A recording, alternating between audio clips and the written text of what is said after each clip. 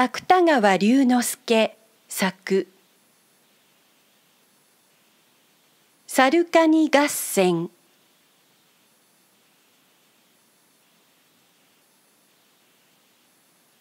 カニの握り飯を奪った猿はとうとうカニに仇を取られた。カニは臼蜂卵とともに恩敵の猿を殺したのである。その話は今更しないでもよい。ただ猿を仕留めた後カニをはじめ同士の者はどういう運命に放着したか。それを話すことは必要である。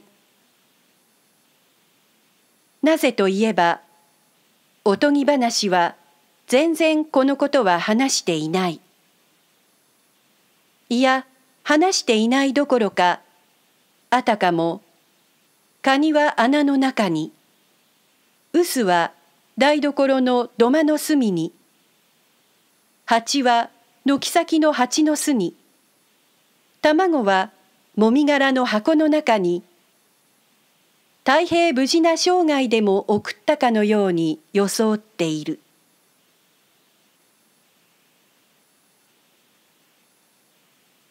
しかしそれは偽りである。彼らは敵を取った後警官の捕獲するところとなりことごとく監獄に投ぜられた。しかも裁判を重ねた結果主犯カニは死刑になり臼蜂卵らの共犯は無期時計の宣告を受けたのである。おとぎ話のみしか知らない読者は、こういう彼らの運命に絵画の念を持つかもしれない。が、これは事実である。寸合も疑いのない事実である。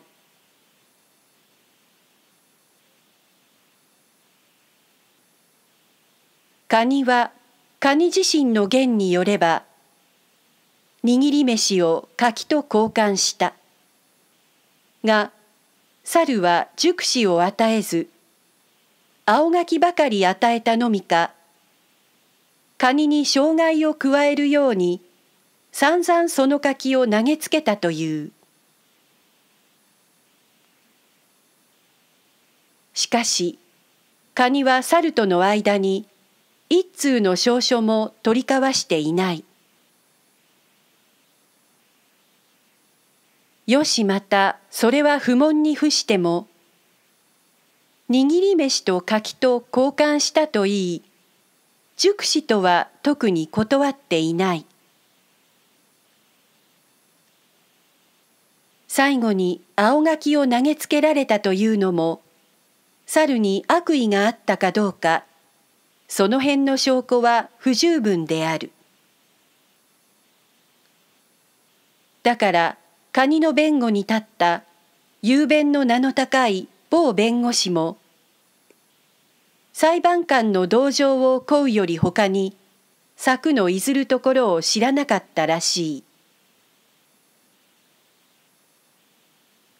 その弁護士は気の毒そうにカニの泡を拭ってやりながら諦めたまえ。と言ったそうである。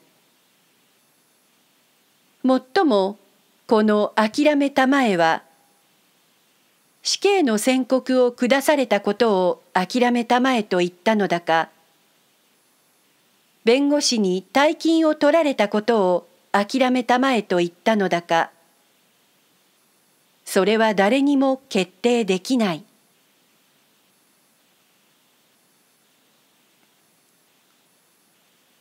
その上新聞雑誌の世論もカニに同情を寄せたものはほとんど一つもなかったようである。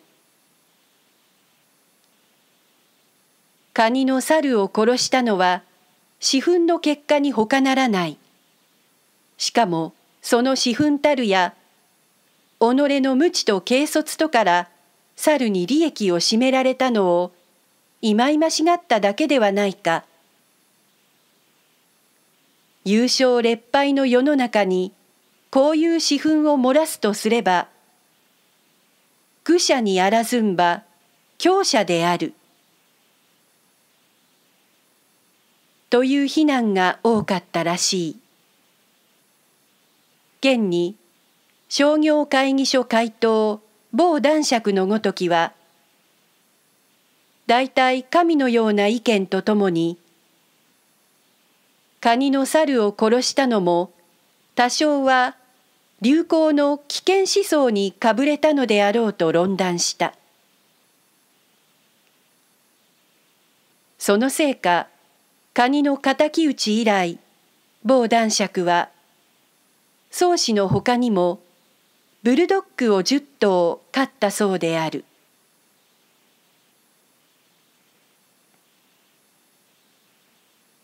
かつまたカニの敵討ちはいわゆる指揮者の間にも一向好評を博さなかった。大学教授某博士は倫理学上の見地からカニの猿を殺したのは復讐の意志に出たものである。復讐は善と称しがたいと言った。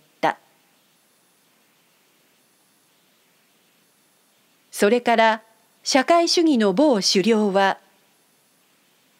カニは柿とか握り飯とかいう私有財産をありがたがっていたから、臼や蜂や卵なども反動的思想を持っていたのであろう。ことによると、尻よしをしたのは国水会かもしれないと言った。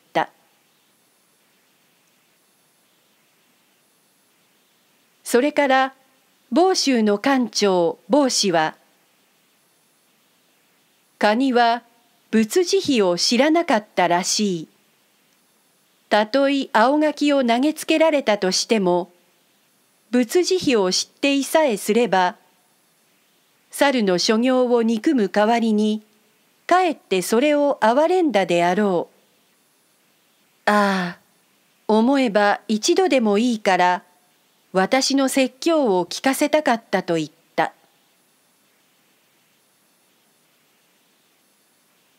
それからまた各方面にいろいろ批評する名士はあったがいずれもカニの敵討ちには不賛成の声ばかりだった。そういう中にたった一人カニのために気を吐いたのは守護兼詩人の某代議士である。代議士はカニの敵討ちは武士道の精神と一致すると言った。しかしこんな時代遅れの議論は誰の耳にも止まるはずはない。のみならず新聞のゴシップによるとその代議士は数年以前動物園を見物中猿に威張りをかけられたことを遺恨に思っていたそうである。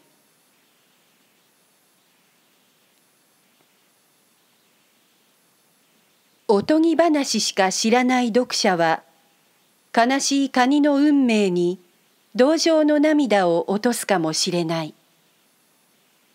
しかし、カニの死は当然である。それを気の毒に思いなどするのは、婦女同様のセンティメンタリズムに過ぎない。天下はカニの死を是なりとした。現に死刑の行われた夜、判事、検事、弁護士、看守死刑執行人教会士らは48時間熟睡したそうである。その上皆夢の中に天国の門を見たそうである。天国は彼らの話によると封建時代の城に似たデパートメントストアらしい。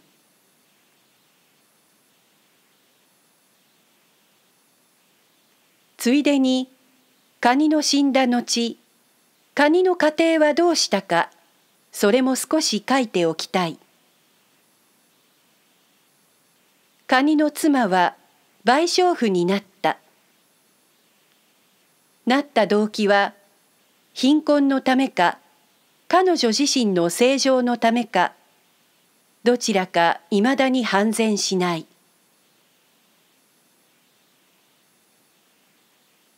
カニの長男は父の没後新聞雑誌の用語を使うと本然と心を改めた今は何でもある株屋の番頭か何かしているという。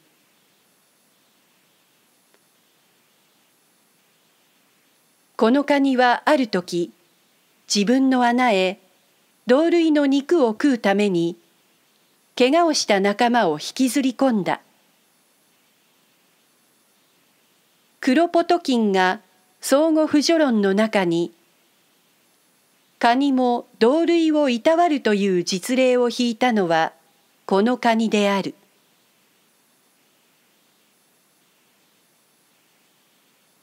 次男のカニは小説家になった。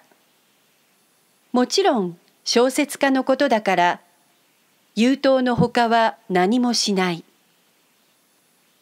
ただ父ガニの一生を例に善は悪の異名であるなどといい加減な皮肉を並べている。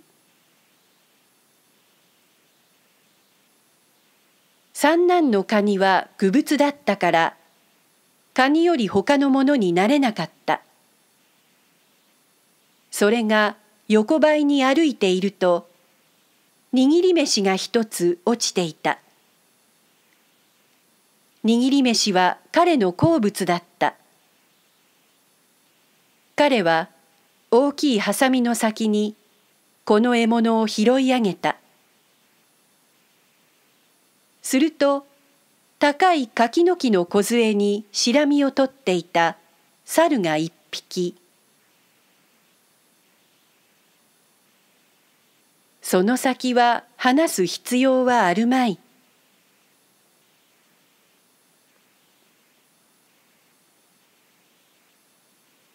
とにかく猿と戦ったが最後カニは必ず天下のために殺されることだけは事実である言葉を天下の読者に寄す君たちも大抵カニなんですよ。